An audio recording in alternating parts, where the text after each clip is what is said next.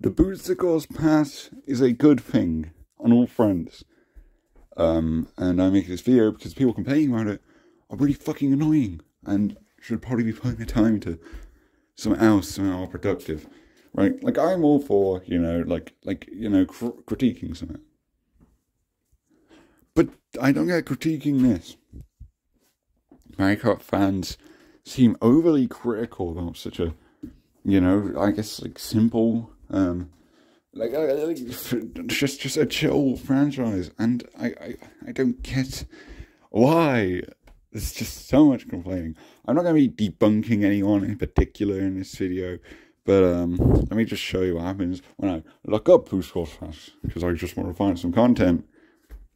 And you just get this shit, this shit, this shit, this shit, this shit, and this shit. Again, I won't be debunking anyone here, but these examples. I, I will point out, though, because I didn't realize these arguments existed, um, saying that um, there's a lack of characters, a problem with the Boost Course Pass, is a ridiculous take because one like like like I, I like the Wii U formula where they gave some out of everything. But the thing is, this for me we lose out on tracks, right? Because soon they're going to put the same amount of content into the DLC, or they have to make it a lot more expensive if they were to include everything, you know, because I, I feel like you're asking for too much then. And if you want the new characters, this the, the booster Course Pass opens a door to a lot more like DLC potential, or maybe even updates, you know, like um, costumes from Tour, um, just new characters altogether, like like Birdo here. Birdo is my favorite Mario Kart character. I'm not going to complain. I'm not acting like the roster for Mario Kart Deluxe is actually bad. It's not. It has the biggest roster. Still the biggest, even if you take away the clone characters. I'm assuming we count Dry Bones as not a clone character. Either way, people love Dry Bones, so it kind of shows a double standard when people want to complain about clone characters. And yeah, I'm not interested in most of them. I don't really care for the baby characters. But you know, like like like I, I'm not going to complain. And clearly, they're obviously easy additions to make, and that's not lazy to me. That is just hey, we might as well add this for more variety. It won't take much time. We might as well do it. Rather than, hey, they're making bad roster decisions instead of adding favorites, you know, because favorites take my time. Albeit there are some I don't get. Like, like, well, I get them, but, um, because it's crossover stuff, but you know, like Inklings and the Villagers, they aren't actual characters, they represent the player, and they're supposed to be customizable. The Inklings at least have different colors. So and I still think they're cool, like animations and whatnot. But um, yeah, I, I don't get it. By the way, Gold Mario just kind as a female version because Gold Mario is a male marriage costume, which is good. Again, costumes as variety. Um, and then we're looking at the absent characters, and there's only eight. Oh, nine if you count Paratroopa.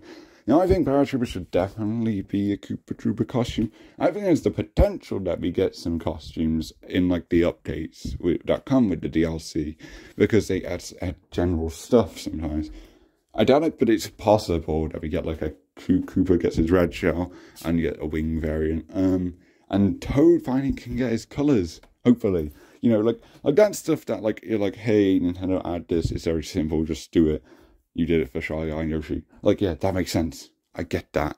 You know, there are valid things to want, and and being disappointed and disliking certain things is valid. Um, but yeah, this roster is objectively the biggest, and it's not even a, a quality, a, a quantity over quality thing, right? Because again, 30 unique characters, and I've seen motherfuckers try to um, debunk this list I made by saying, oh, no, the Koopalings don't count. The Koopalings very much do fucking count. Um, I, I, the Koopalings need a whole of a video on why they are good characters and they are individuals and they should be treated as such. They are just the quirky, you know, like like picks, like the ones that are mainly absent in this, like the one-off picks. But there's a lot of them. There's so many, all seven. Now, I'd get complaining about them in the Wii U version of Mario Kart 8 because Bowser Jr wasn't in that game. And yeah, that is stupid, but 8 Deluxe makes up for that. Because Bowser Jr. is here, King Boo, and Bones on it. Makes the roster feel a lot more complete. leaving the only two big absent characters being Diddy Kong and Birdo. I, I can't why they're not here. But again, it, it's a more complete roster than any other Mario Kart. And yeah, I'd still love for character DLC because you can make, because each row is seven characters. You could get rid of uh, Diddy Kong Jr. because no one fucking cares about Diddy Kong Jr. And then you could just have, I mean, Donkey Kong Jr. Fuck, um, but yeah, you can have Diddy Kong himself, Funky Kong, uh, Honey Queen, Birdo with all her tour colors, um, Petey Piranha, Wiggler, and Rob. You know, and that'd be cool. That'd be very much a cool thing. And then obviously add Paratroopa with the costume. And then your roster's complete. It, it, it's such a simple thing. And people want to make a huge deal about how this is such an incomplete roster. Like, I, I don't know if they're new to the franchise or what, but every of the other roster has so many more absent characters. You know, like like they're way less complete and they're way smaller. Um, like the biggest before this 42 roster was 20 something with Mario Kart Wii. By the way, here's a list I made covering the differences, specifically the differences between the rosters, the three biggest rosters. Double Dash and Wii are the ones people like to point to for ones I see are better than 8 Deluxe. You know, this is a whole of a tangent, but I had a whole video on this. I never got to releasing it, so I might get into this, make a point on why the game doesn't necessarily need this. Um, like, like, see, if you like Wii more, you're losing out on everything on the left side, and then gaining Birdo, Diddy Kong, Funky Kong. Those are three great characters, but there's just such a big quantity of stuff that it does overpower the others, and it's all quality here. Like Lakitu, the Koopalings, Shy Guy, all the colors, um, you know, and then more crossover stuff, which I'm usually not really a crossover guy, but I like some of them, like Isabel, and I can get liking the others. Um, so I'm fine with them. And Dash, you have four more because you get Paratroopa and PE for our no Funky Kong. Um, and then you've got all these characters that you just lose um, that Wii and 8 Deluxe have. Like, these are good rosters for their time. But again, 8 Deluxe just overpowers every other roster. Uh, and yeah, I still love DLC. And I think the Boost Course Pass is opening the potential for character DLC after this. Um, like, like if they don't, then yeah, I, I'd be questioning that because it's an easy, it's a very lucrative offer to just do the, the, the, booster pass thing, but for more stuff like battle modes, if Tour's adding them, you know, um, and just general car build, so you know, the car um, tires, gliders, and then have them all fit one character. Like characters like this broomstick cart thing um, in Tour, you could bring them over, you know. Um, and yeah, I'd love that. I'd love it. And the Booster Course Pass is opening that door that we can potentially get even more DLC. And honestly, I don't see any reason why they wouldn't. Like, I'm not saying it's basically guaranteed. Like, like I, I, am I'm down it just because I, I, I don't know if they want to do more DLC, but they easily could and could easily make a ton of money from it. So I don't know why they wouldn't. Um, because it would be easier to do than like bringing over tracks from Tour. Um, they're just bringing characters. And also, I haven't even pointed out the Mii's here, you know. Like, it looks as a ton of Mii costumes that are amiibo only, whereas Wii has just two regular costumes, and then um, Double Dash has no Mii's. So yeah, that's another thing worth pointing out. But yes, the point being, the rest is good enough. We don't need more characters. I'd like for more characters, but yeah, if we don't get any more, then it is fine. We got a good selection of characters and a huge selection of like customizable parts for your car. Um, so yeah, um, yeah, obviously more would be welcome, but that's not the fault of Course Pass. Course Pass opens the door to the DLC, like I said. Um, and yeah, the, the, the point stands for this DLC. Like Mario Kart Deluxe, again, you got all the Wii U DLC for free in it. And that made it a 48 track game, which is more than any other Mario Kart, which the highest before was 32 with 8 cups. Um, so we already got like a third more of that. Um, Well, I've got half more of that, and then that becomes a third. Right, yeah, maths. Um, so yeah, that's pretty big already, you know. That's like a lot of content on that. Then the Boost Course Pass just shows up and fucking doubles it. And and this solidifies it. It's like the the best Kart game, at least for content. You have any other feelings and whatever. But, but yeah, for me at least, it definitely solidified it as the best Mario Kart game. You know, and it's not like it's just quantity. There are some there's so much quality within these like picks. You know, got a lot of fan favorite tracks, and yes, they are using assets brought over from Tour. This is what people always point out when they say, "Oh, the Boost Course Pass sucks." Why does that matter? Shouldn't that be something to celebrate because Tour has so much content and it's good that they're finally using it in a actual game and not their shitty little boring mobile gacha bullshit. You know, like like I, I'm not defending Tour the game itself, but the content in Tour, it, it, it, there's a lot of potential, and bringing it into a deluxe is awesome because we get so much more. If they were doing stuff by scratch and trying to make the graphics better, not only would that take more time or crunch hours, and I don't want Nintendo employees to have to go for that, you know. And yeah, that, that's just needless effort. Just bring over the Tour stuff. And again, it's not like it's that simple, right? Or else we'd be getting every single track um, within reason. But um, yeah, because you still have to like map like the AI so they know where they're going and all that stuff. You gotta like make stuff um, compatible for Minecraft looks, and it, it's not like they just leave like that. Sometimes they all add stuff, you know, silly for Deluxe, and they always polish up on the graphics in general. You're using the assets, but the, graphically it's better than Tour still. So even if you want to make a graphics point, and that's all that it really comes down to now. Um, the people just complain about graphics, and I, I thought we as a gaming community didn't give two fucks about graphics. You know, and I don't get it. I, I, don't get the complaints about graphics because it still looks gorgeous. This all looks so fucking good. You know, it's a different art style, but it has to be. Like, if you want this much content, then yeah, you're going to have to to take this level of quality. And again, it's not a bad level of quality. People bring this up about the Rust all the time as quality over quality, when it's not. It's really not. It's just a different thing. There's changes here, there. And it's fine. I'd argue that the, the Tour art style I actually like more than the basic art style because it's not trying to be realistic. I never liked Paper Mario Kart.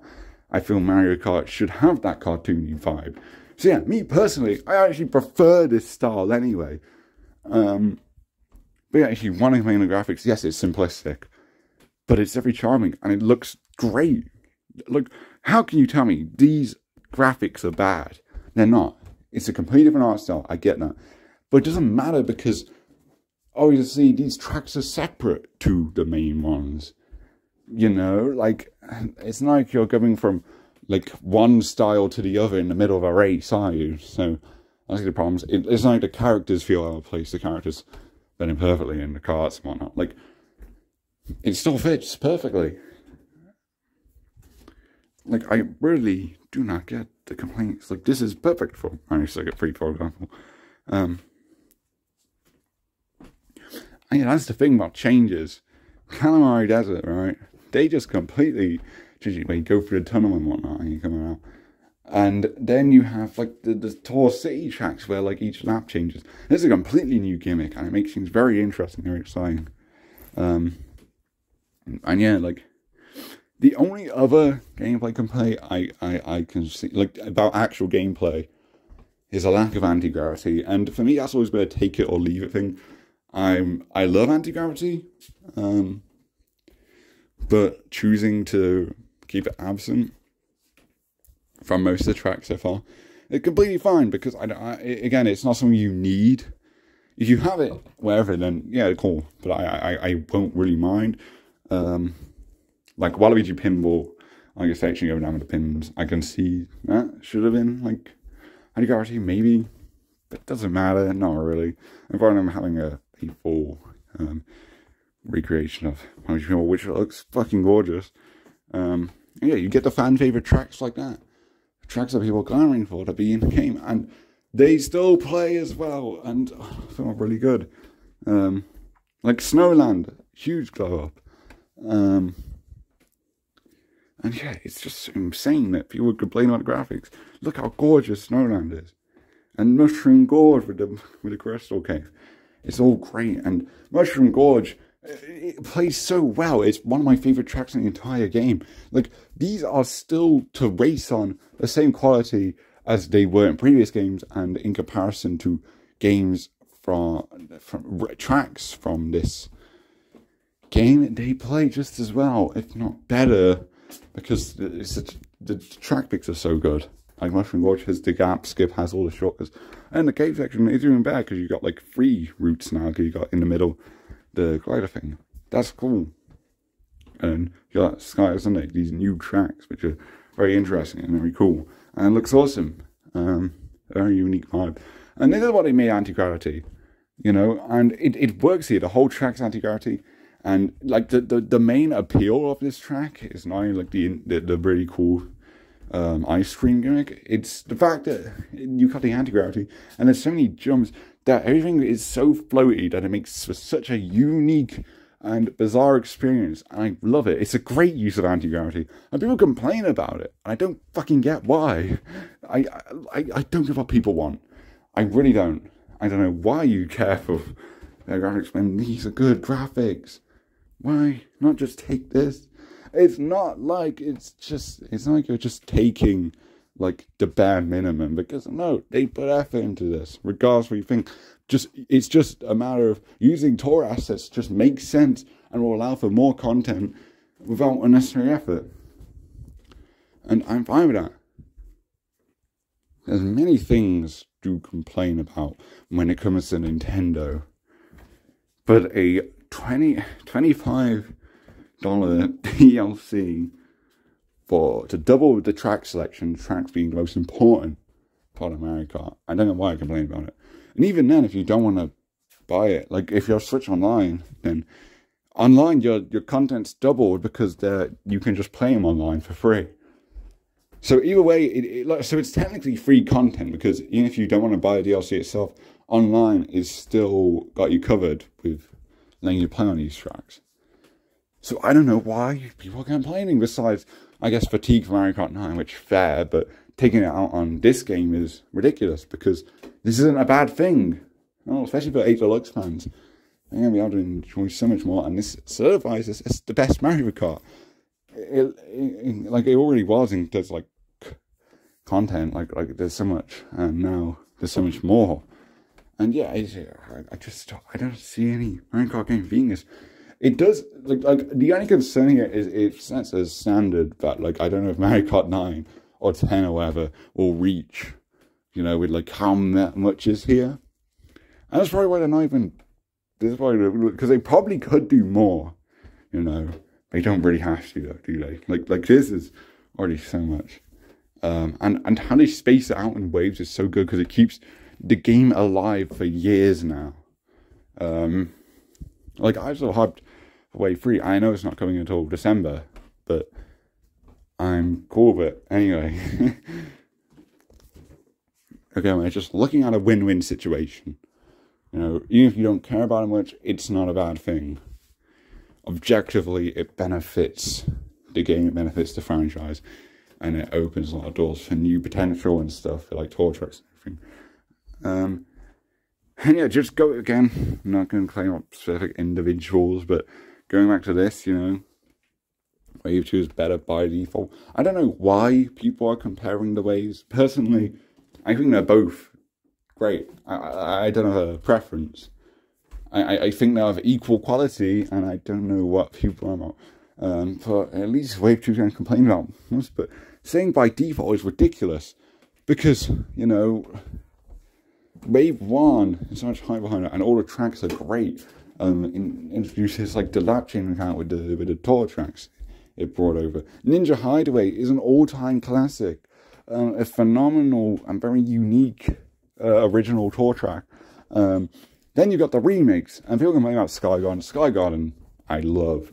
You know, I don't get complaints for it. You know, besides, hey, it's not a very faithful remake, but that's just layout the new layout is so much better. Make sure it doesn't drag on. And also, a lot of changes were necessary to ensure, um, like like to ensure like they could do the better theme, like the floaty clouds on the sides that are very bouncy, and you can like mushroom over them. So much shortcut potential, and people what they do is complain about Sky Garden now and the old shortcuts.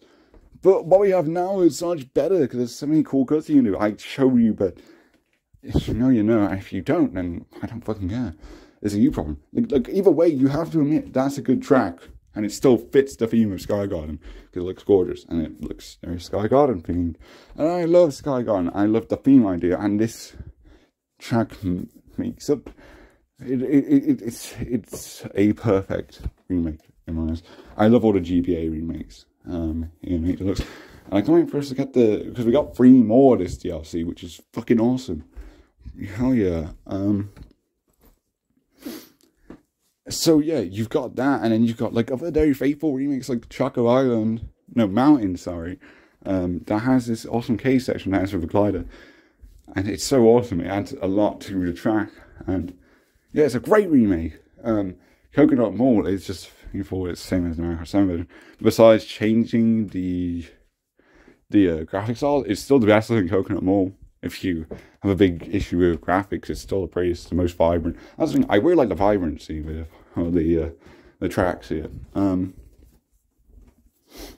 and yeah, you've just got so many good tracks. That's a fan favorite right there, Coconut Mall. And then you've got like what's what's the other one? Uh, you've got Toad Circuit, one of the best circuit tracks. You know, uh, like like again, it's still a good track, and this one gets me to film a lot. Like like I I agree, it's not really an ideal pick, especially if 3DS only has three picks in DLC, but it's still good. It's still a good track. You know, like none of this is bad. Yeah, you can have some questionable stuff. You can have some disappointments or like picks and whatnot. But overall, this is a great thing and any criticisms I have, I don't mind it. And I think critiquing the graphics is dumb. Um, so yeah, by default, that is insane. You know, to do it by default because there's a lot of good stuff in Wave One. Um, you know.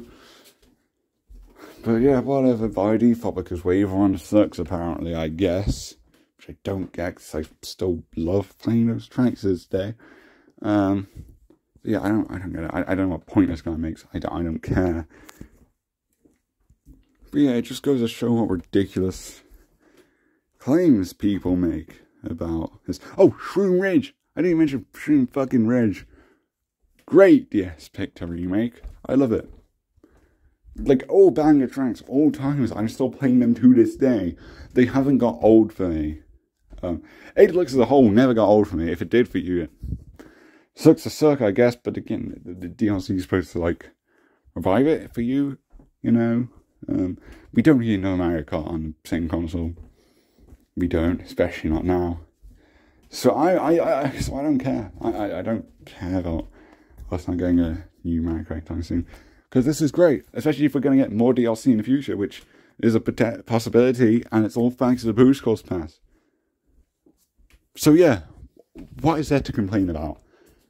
like even if in your opinion there's tracks that you think are bad or whatever what is there to actually complain about because it's still like like objectively it's still a good quality. Maybe you don't like it personally but it's objectively good content um both quantity and quality wise